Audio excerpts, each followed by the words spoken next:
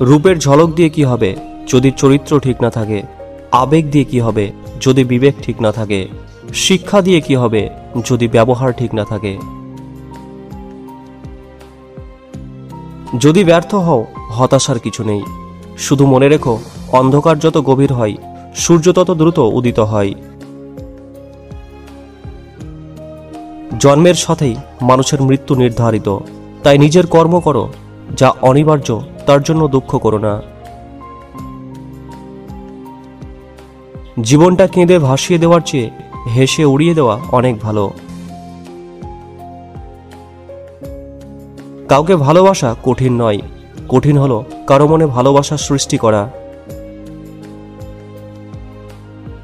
তোমার কাছে যা কিছু আছে, সেগুলোকে কখনোই অন্যের কাছে বাড়িয়ে বলো না, আর অন্যকে দেখে ঈর্ষাও করো না। যে অন্যদের দেখে ঈর্ষা করে সে কখনোই মানসিকভাবে শান্তি পাবে না। অপমান জিনিসটা পলিথিনের মতো। মাটির নিচে চাপা পড়ে যায় ঠিকই, কিন্তু পচে যায় না। জীবনে দুটি মানুষকে কখনো ভুলে যেও না।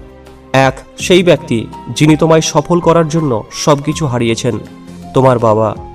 দুই, সেই ব্যক্তি যিনি তোমার কষ্টের দিনগুলোতেও তোমার সঙ্গে ছিলেন, তোমার মা।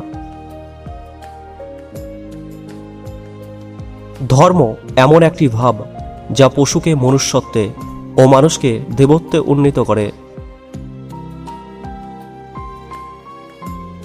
শক্তিশালী সে যে নিজেকে রাগের সময় নিয়ন্ত্রণে রাখতে পারে।